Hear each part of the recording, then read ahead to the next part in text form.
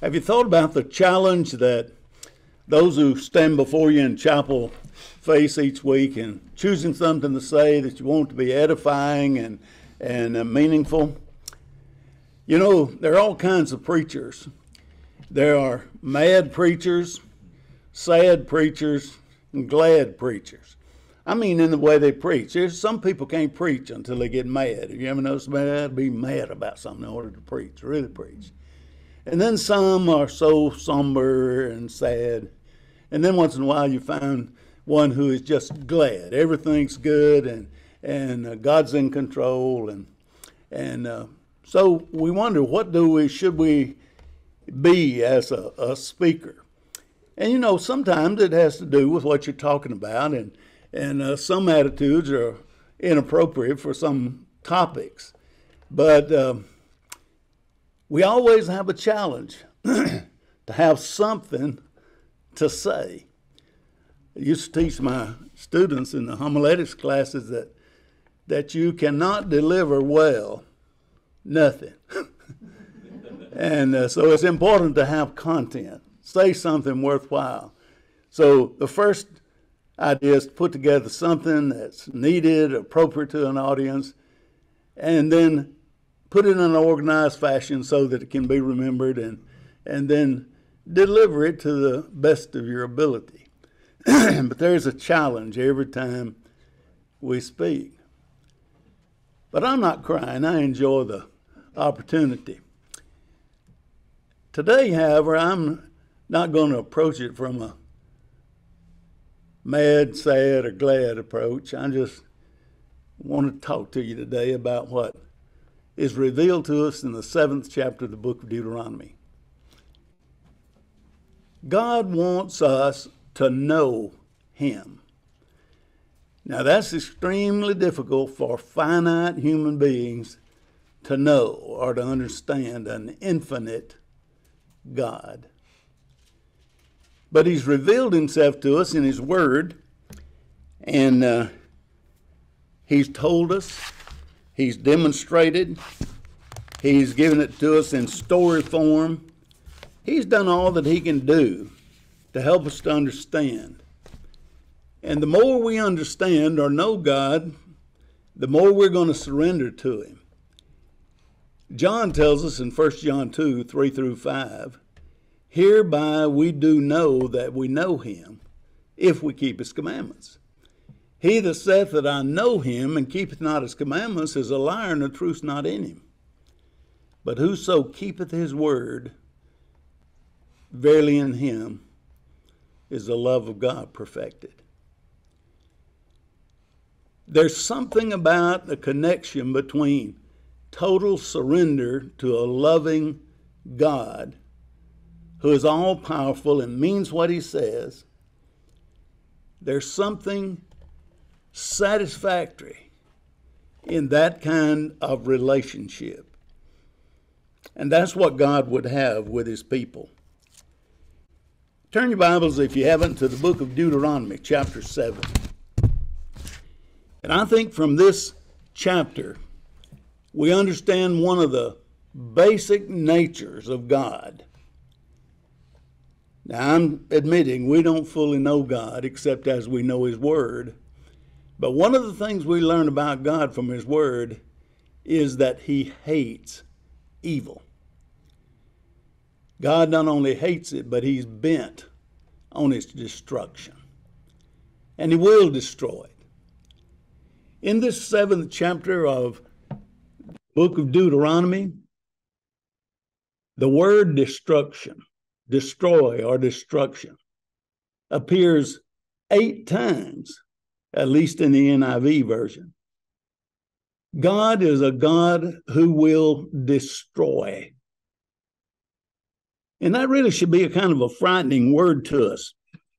But let me tell you about this book.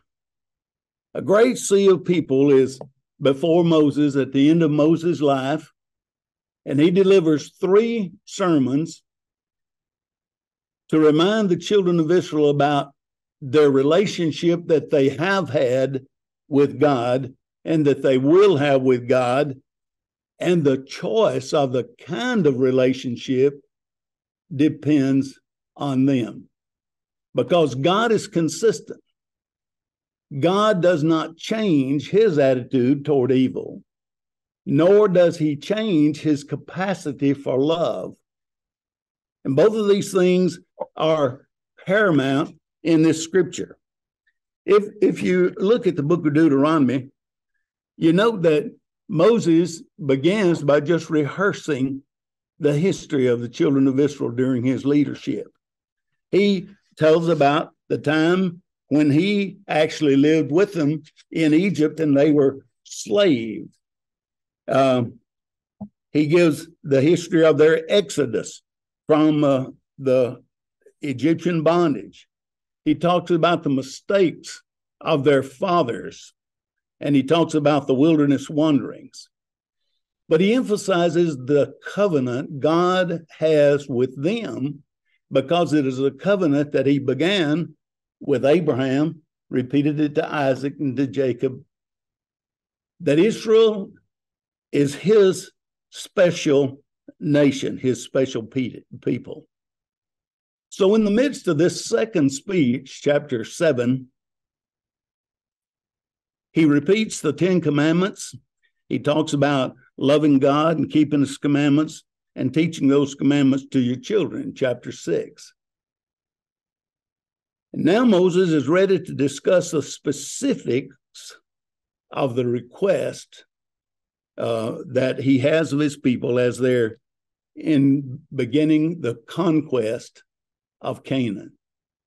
Moses is about to die. Joshua will become their leader, and they're to move into the land of Canaan.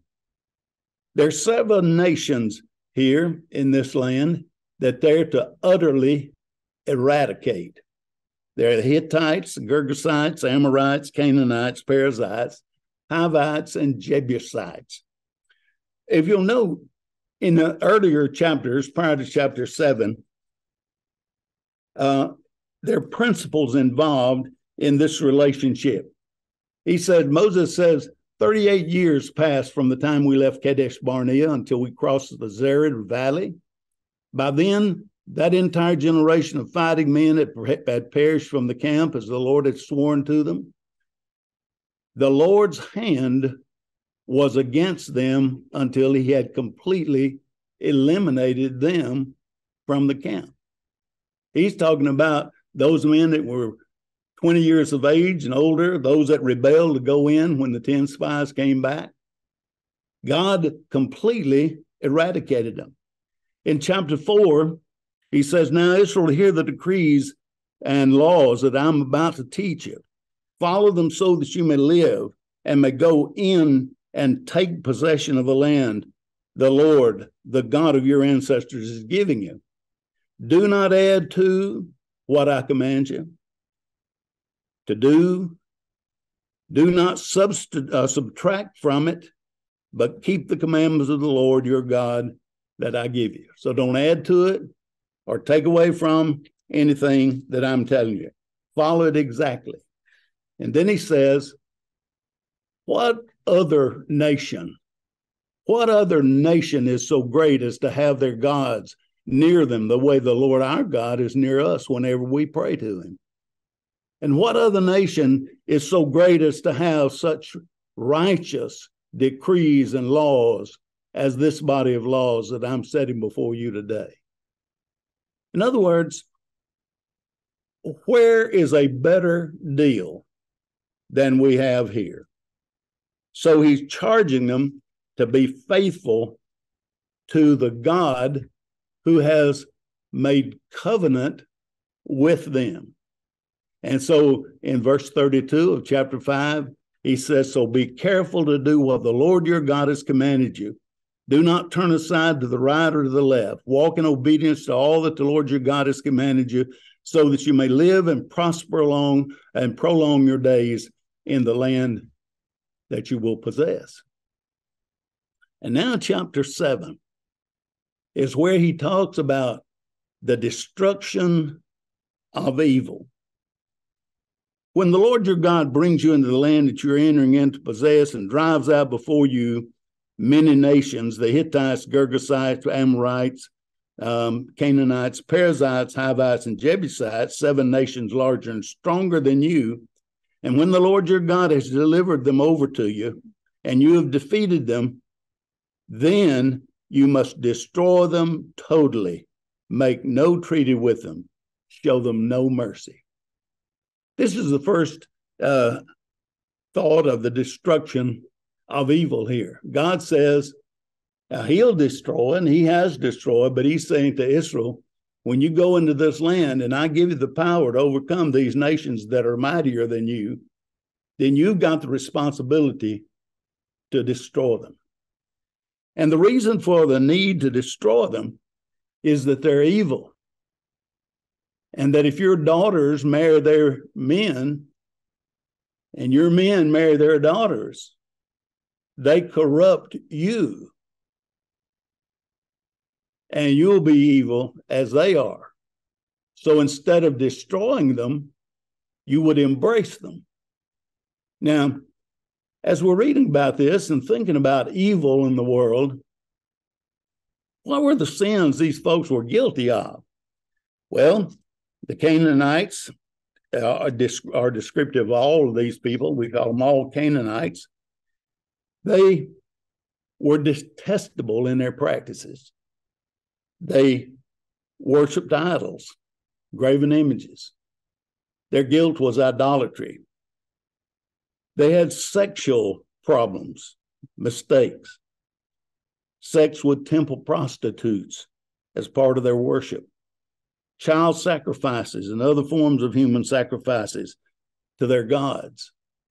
They were guilty of spiritism, witchcraft, homosexuality, and extreme cruelty to the nations round about them and all of the sins that accompany all those things. God looked at those nations and his wrath was full. I think the book of Revelation would describe it as the bowls of God's wrath are full. He will get up. Reminds us of the sixth chapter of Genesis when God saw Noah as a man who was good, but not perfect, but could be a recipient of his grace. And he found grace now as the Lord.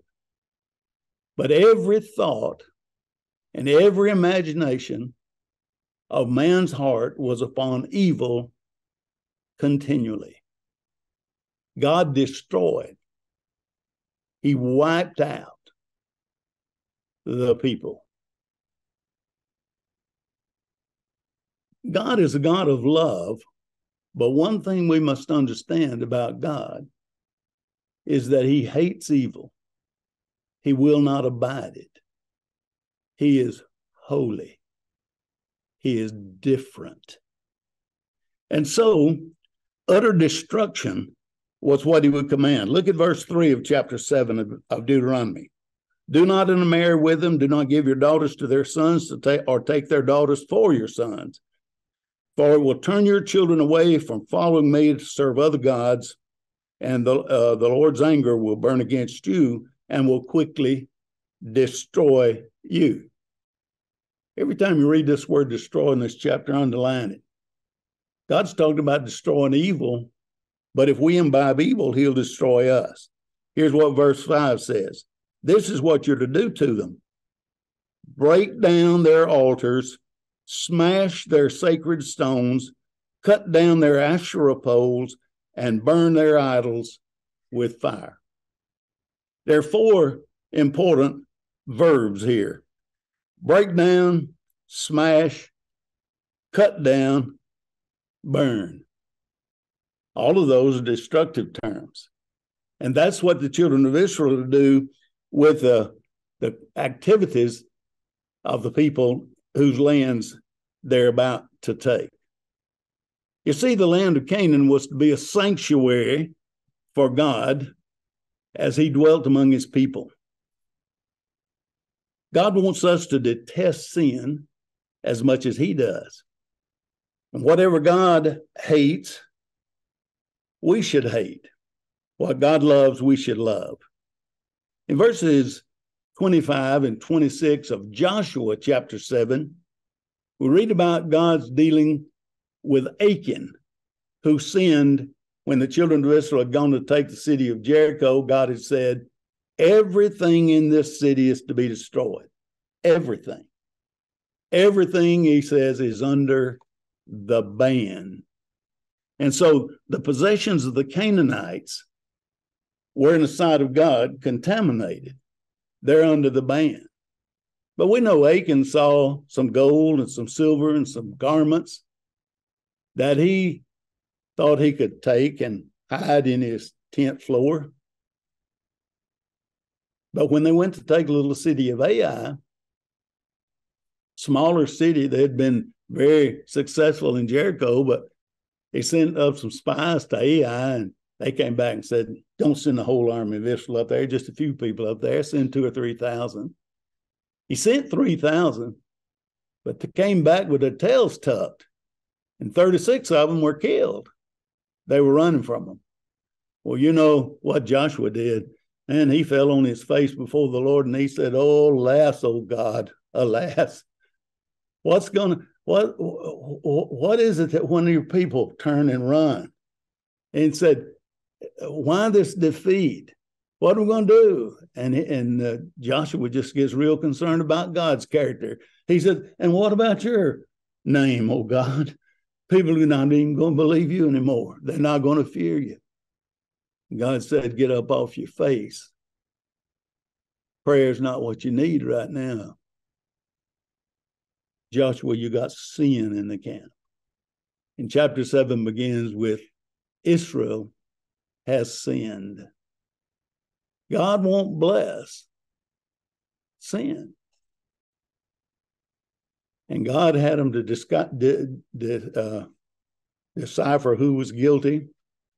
Achan was wanting to take it, but as long as that sin was tolerated in the camp, God called it Israel's sin. Sin had to be removed.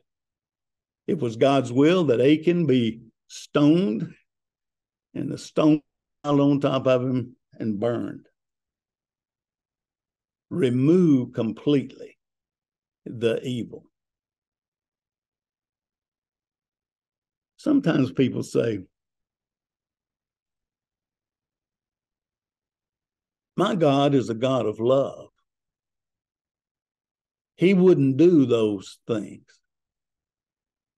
My God is a God of love, and He does do those things. Because the opposite of love is hate. He loves righteousness, holiness, but He hates sin. And our attitude ought to be something like his, of course.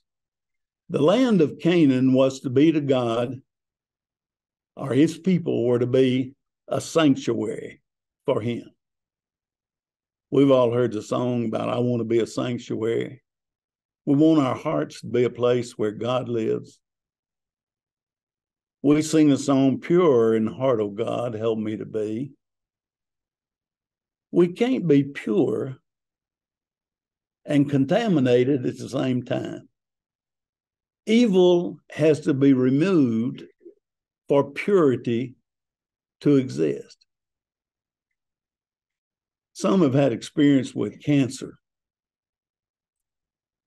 And we know that cancerous cells have to be removed for healthy cells to live. For us to live and prosper, we need to remove the sin. Chapter 7 reminds us of the importance of the covenant. If you look at verses 7 to 9, the Lord did not set his affection on you, he's talking to Israel, and choose you because you were more numerous and more than other people, for you were fewer than all peoples. But it was because the Lord loved you and kept the oath he swore to your ancestors, that he brought you out of the might with a mighty hand and redeemed you from the land of slavery, from the power of Pharaoh, king of Egypt. Know therefore that the Lord your God is God. He is faithful God, keeping his covenant of love to the thousand generations of those who love him and who keep his commandments. So the covenant of our God is a God of purity, but it's also a God of, it's a covenant of love. Now, we read these Old Testament stories to learn the principles, the divine, eternal truths that are applicable to us today. He says, Those who hate him, he will repay to their face by destruction. He will not be slow to repay their face, uh, to, to repay to their face those who hate him. God is powerfully opposed to evil. He will destroy it. Therefore, take care to follow the commandments, decrees, and laws that I give you today. Love is attached to the covenant. So when people say, well, the God of the Old Testament is a is a cruel God. He is not cruel. He is a destructive God to evil, but he's a loving God. He loves those who do his bidding. He said, if you pay attention to these laws and are careful to follow them, then the Lord your God will keep his covenant of love with you as he swore to your ancestors. He will love you and bless you and increase your numbers. He will bless the fruit of your womb, the crops of your land, the grain, the new wine, the olive oil, the, the calves of your herd, and the lambs of your flocks in the land he swore to your ancestors to give you. He will be, uh, you will be blessed more than any other people. None of your men or women will be childish, nor will any of your livestock be without young. The Lord will keep you free from every disease. He will not inflict on you the horrible diseases you knew in Egypt, but he will inflict them on all that hate you. You must, here it is again, destroy all the peoples the Lord your God gives over to you. Do not look on them with pity. Do not serve their gods, for that will be a snare to you. I think all of us, even today, have difficulty not looking with pity upon those who are destructive of themselves because they refuse the will of God. As he continues in this discussion, Moses reminds the people that our God is a great and an awesome God. He says, No one will be able to stand up against you. You will destroy these wicked people. And then in the last verse of the uh, seventh chapter, he says, Do not bring a detestable thing into your house, or you, like it, will be set apart for destruction, regarded as vile and utterly detested, for it is set apart for destruction. There are some things that are hard to teach because they're hard to learn and hard to convince ourselves of. And I think one of these things is the vast difference between good and evil. Now, you'd think that'd be something easy to understand, but there's a difference. Does all this have an application to us today? The main themes in this chapter are remember the covenant. A covenant is an agreement. God had an agreement with Israel. Number two, prepare yourself for warfare against evil. And number three, understand the rewards, the compensations, and the consequences of your choice. And every one of these things, each of these three things is applicable to us today as Christians. We have all entered into a covenant with God through Christ. Jesus died for us. He promised us redemption through his blood. He says, Come to me. We have come, we've confessed our faith in his lordship. We've committed ourselves to him. We accept him as Lord. The covenant is complete. We each have a part to play. The promise on either side. And when we keep covenant with the Lord, we're blessed. So we've all entered into the covenant. The second thing that makes us like Israel is that we have a battle to fight. It's a war with spiritual forces of wickedness. And Ephesians 6 tells us about that warfare.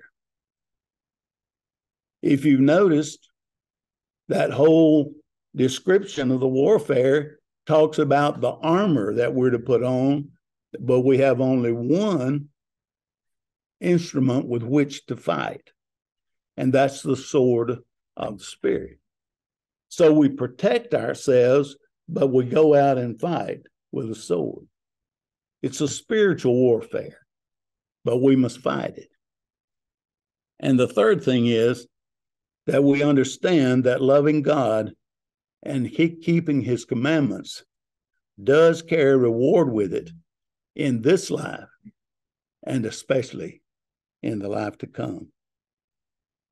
So, my question for myself, and I hope that you would have the same question are we ready to tear down, to smash, and to hew down, and to burn